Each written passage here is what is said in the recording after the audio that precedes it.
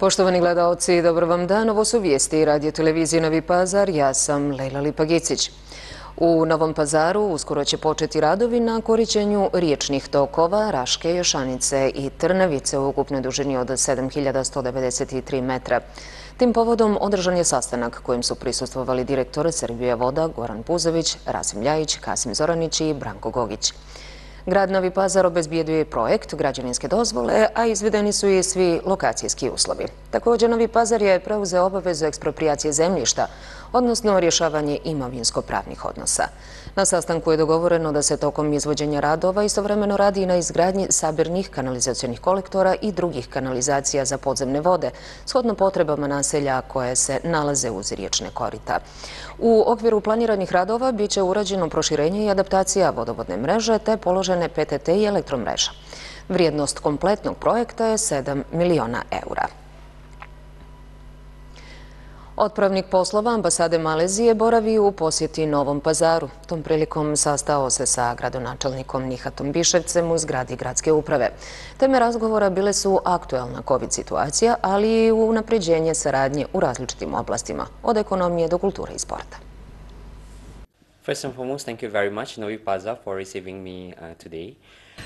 Pre svega, uh, htio bih da se zahvalim uh, gradu Novom Pazaru na tome što... Of course, the main purpose of my visit is to introduce myself. главна, главни разлог посета е да се представи. Данас сме имали веома пријателски разговор. E, razmenili smo e, prosto e, iskustva i poglede naše dve strane. I jedna, naravno, od tema trenutno o kojoj smo razgovarali je bila COVID situacija. Također sam upoznao sam gradonačelnika sa tim kakva je situacija trenutno u Maleziji i na koji način se dve države trenutno nose sa tom situacijom. Također sam upoznao gradonačelnika sa uspehom vakcinacije proces. We have more than 90% of our people vaccinated already. Imamo preko 90% vakcinisanih državljana trenutno, a također sam i podelio um, koji je, taj, koji je tajni recept za dostizanje tog rezultata i kroz ovu razmenu e, iskustava i načina na koji pristupa sa pristupom e, pandemiji, nadamo se da ćemo moći da unapredimo, e, da kažem, rezultate borbe u borbi protiv COVID-a u naše dve države.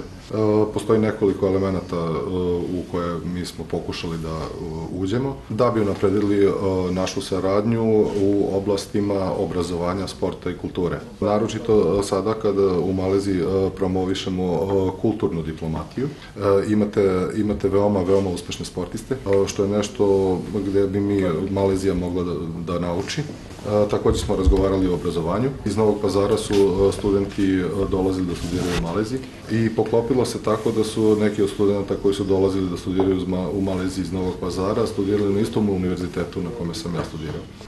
Što za mene čini da Novi pazar ima sentimentalnu vrednost za mene iskoristio sam priliku da ga upoznam sa trenutnom privrednom društvenom situacijom u našem gradu i regionu i da nastavimo jednu dobru saradnju sa ambasadom Malezije u Srbiji i njihovom prethodnikom. Znamo da je od, iz našeg grada bilo studenta koji su studirali u Maleziji. Mi želimo da nastavimo taj trend saradnje i obrazovanja naših sugrađana koji bi tamo na prestižnim univerzitetima studirali i to znanje koje steknu ovde primjenjivali u našem gradu. Želimo da pre svega sportisti, sportska diplomatija, znamo da je Novi Pazar grad sporta, da je u samom vrhu u našoj zemlji, da smo sportska zemlja i znamo da je Malezija u određenim sportovima izuzetno uspešno, tako da postoji taj prostor za saradnju i pre svega kulturna saradnja. Kultura je ta koja prva povezuje i mislim da ima dosta prostora za koje će dosta prostora za povezivanje. Raduje me ovaj današnji, kažem, posete našeg brata, tako da u narednom periodu sigurno nas čeka puno toga na saradnji grada Novog pazara i Malezije. Mir i stabilnost će biti sačuvani. Moramo izgrađivati Bosnu i Hercegovinu kao multietničku državu u skladu sa Dejtonskim mirovnim sporazumom i razvijeti našu regionalnu saradnju. Izjavili su to članovi predsjedništva Bosne i Hercegovine nakon sastanka sa zamjenikom pomoćnika državnog sekretara i specijalnim izaslenikom Sjedinjenih američkih država za Zapadni Balkan, Gabrielom Escobarom. Svi smo saglasni da rata neće biti i mislim da je to najvažnija poruka koju imamo. To dakle nije poruka koju ćete čuti samo od onih lidera s kojima sam se ja sreo danas, to je poruka koju ćete čuti i od lidera iz regiona. Rata u Bosni i Hercegovini neće biti. Dayton je bio, jeste i ostaje osnov politike Sjedinjenih američkih država i sve ono što naravno proizilazi iz iz Daytona. Uh, Sjedinje američke države su potpisnica Daytona i ništa što je mimo Daytona ne može se desiti bez saglasnosti Sjedinjenih američkih država. Vlada kantona Sarajevo donijela je odluku o proglašenju stanja prirodne nesreće od poplava na području kantona Sarajevo.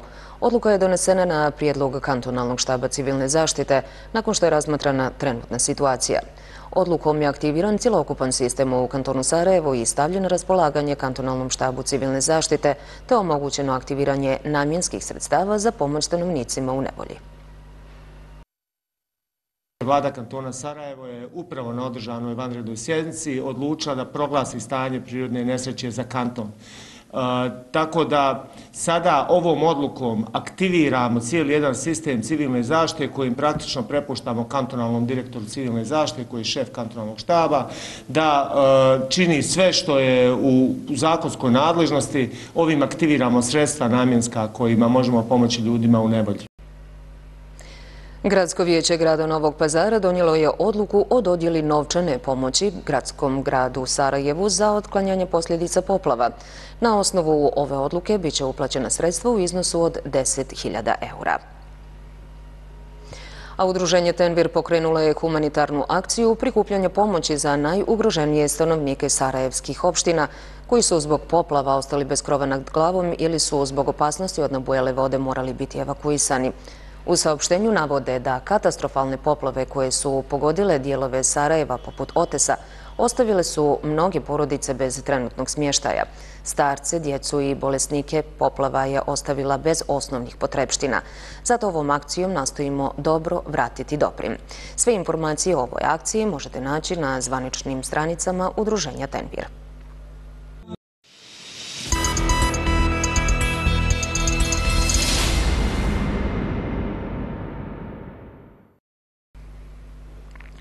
Imamo blago povećanje građana koje se javljaju da prime prvu dozu vakcine, ali to opet nije dovoljno, kažu nadležni. Apeluju na građane da se prijave u što većem broju kako bi proces imunizacije išao planiranom dinamikom. Ne treba se oslanjati na nove lijekove jer oni ne mogu zamijeniti zaštitu koju daje vakcinacija. Mi imamo dnevno između 800 i 1200 doza vakcina i e, imamo blago vrlo povećanje tih možda prvih doza koje i jesu i dolaze zbog uvedenih tih COVID propusnica, mislimo da nije baš dovoljan odziv, znači da nisu još građani shvatili dovoljan značaj e, vakcinacije. Tako da e, prvih doza imamo negde do 30%, ispod 30%, tako da mi i dalje apelujemo na građane da dolaze za vakcinaciju u većem broju jer nam je to stvarno od velikog značaja. Prema posljednjim podacima štaba za vanredne situacije u Novom pazaru je u protekla 24 sata analizirano 79 brzih antigenskih testova, od kojih je 16 pozitivno na koronavirus. Na respiratorima je 10 pacijenata, preminulih nije bilo.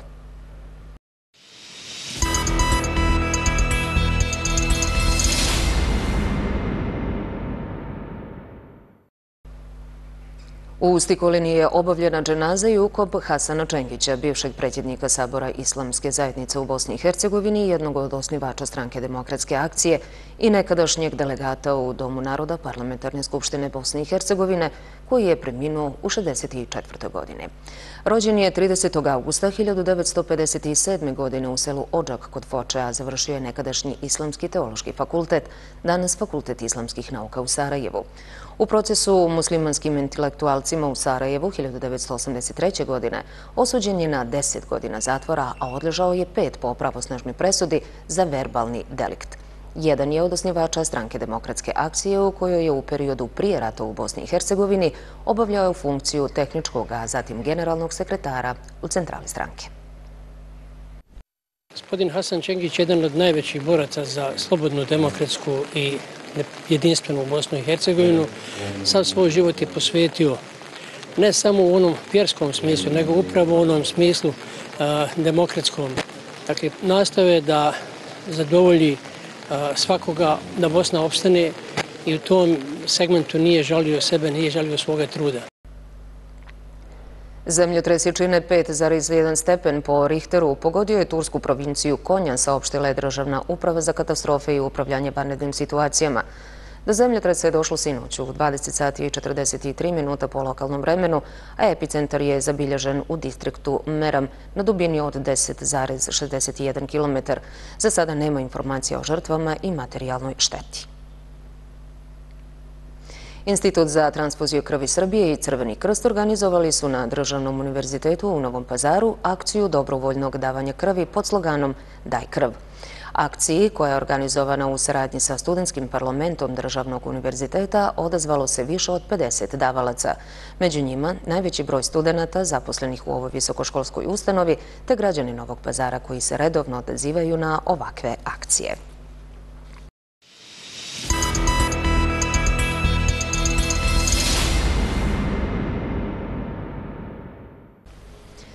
Jedna od najljepših dječjih priča Pepeljuga u redovnom je programu regionalnog pozorišta Novi Pazar. Sutra će ova predstava biti odigrana u humanitarne svrhe za djevojčicu Lanu. Više informacija da će nam glumica Lamana Pićirović. Dobar dan i dobrodošli u vijesti radio televizije Novi Pazar. Dobar dan, bolje vas našla.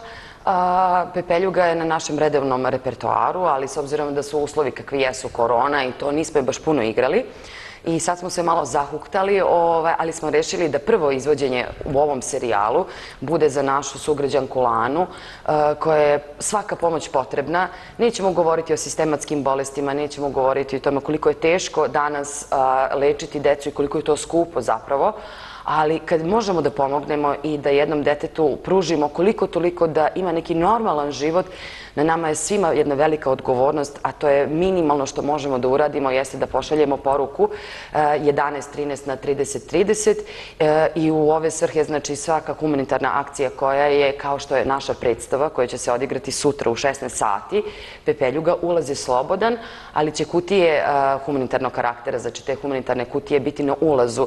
I svako ko dovede dete može da unutra ubaci koliko misli da treba, koliko možemo da pomognemo toj devojčici da odleti u Houston i da reši svoje probleme. Da li će možda predstava, ukoliko bude bilo potrebe, biti igrana u humanitarnom karakteru ponovo? Kad god je potrebno, znači regionalno pozorište izlazi svima u susret, pogotovo kada su deca u pitanju, pa nisu samo deca, ali sve što je vezano za bolesti, za potrebu, apsolutno smo na raspolaganju, jer mi i jesmo tu zbog naroda, mi i pozorište služi narodu.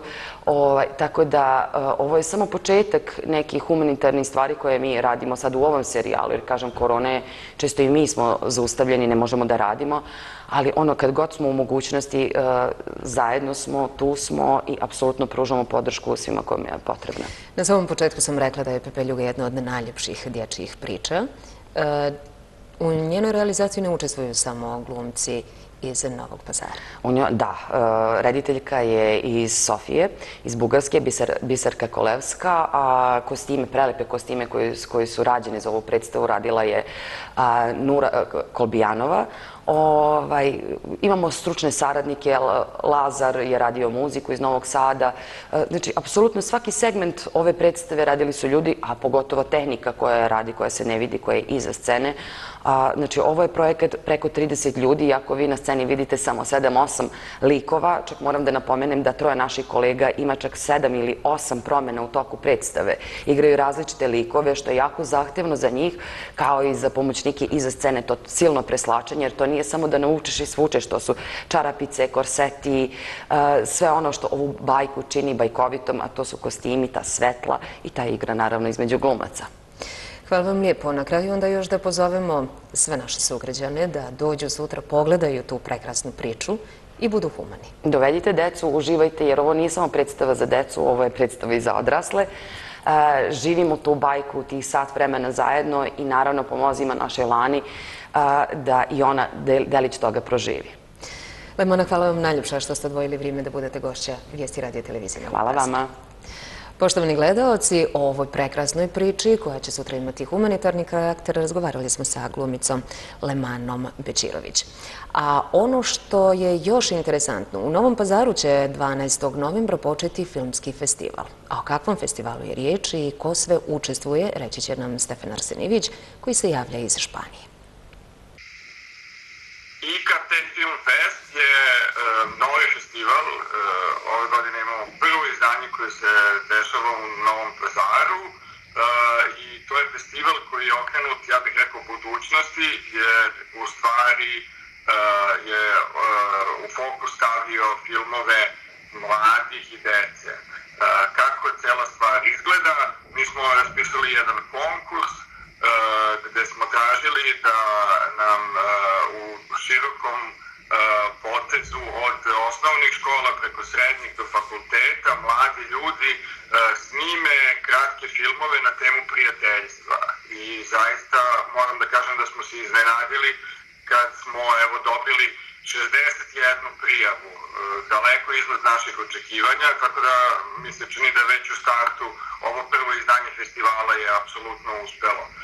Uh, od ti, svi, mi smo prvo razmišljali nešto da prikažemo izbor filmova, na kraju smo shvatili kad smo pogledali sve filmove da je najbolje da prikažemo sve filmove u okviru festivala e, u Novom pazaru koji počinje 12. E, novembra i traje tri dana, e, tako da će na velikom platnu biti prikazani svi ovi E, divni, e, vrlo često i prvi koraci e, mladih novih filmskih nada.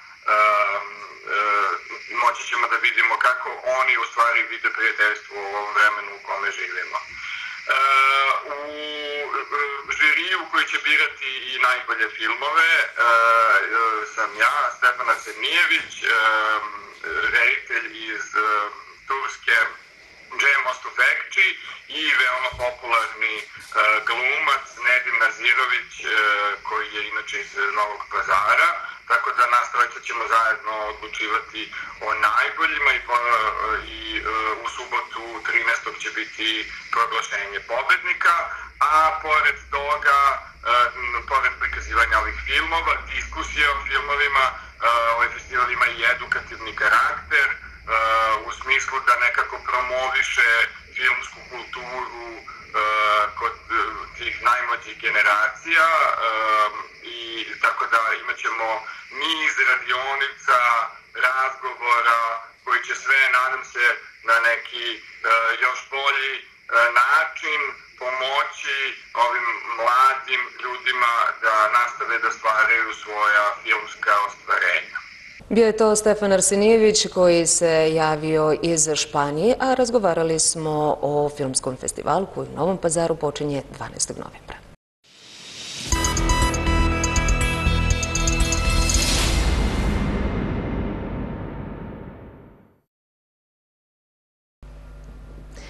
U Sanđaku sutra umjereno oblačno vrijeme sa mrazom i maglom po kotlinama, u drugoj polovini dana razvedravanje. Jutarnja temperatura od 0 do 5, najviša dnevna od 10 do 15 stepeni. U Novom pazaru umjereno oblačno i toplije vrijeme. Jutarnja temperatura 2, najviša dnevna kretaće se oko 13 stepeni. I za kraj još informacija. Na današnji dan prije 28 godina pripadnici Hrvatskog vijeća obrane su stalnim granatiranjem srušili stari most u Mostaru. Snimak tog urbicida obišao je svijet. Za sve mostarce, prije i nakon rata, Stari most nije predstavljao samo građevinu prema koje se lakše prelazilo već i mjesto susreta, te turistički biser u Hercegovine, ali i cijeli Bosne i Hercegovine. Sedam godina kasnije Stari most je rekonstruisan, a godinu dana poslije uvršten je na listu UNESCO zaštićene svjetske kulturne baštine. Stari most je izgrađen u periodu od 1557. do 1566. godine, a glavni arhitekt je bio Mimar Hajrudin. Za rušenje starog mosta odgovornim se smatra Slobodan Praljak, bivši general Hrvatskog vijeća obrane, koji je popio otrovu u Haškoj sudnici 2017. godine i tako okončao život. Poštovani gledaoci, slikama najstrašnijeg urbicida s kraja 20. vijeka završavamo današnje izdanje vijesti. Hvala što ste bili s nama. Doviđenja.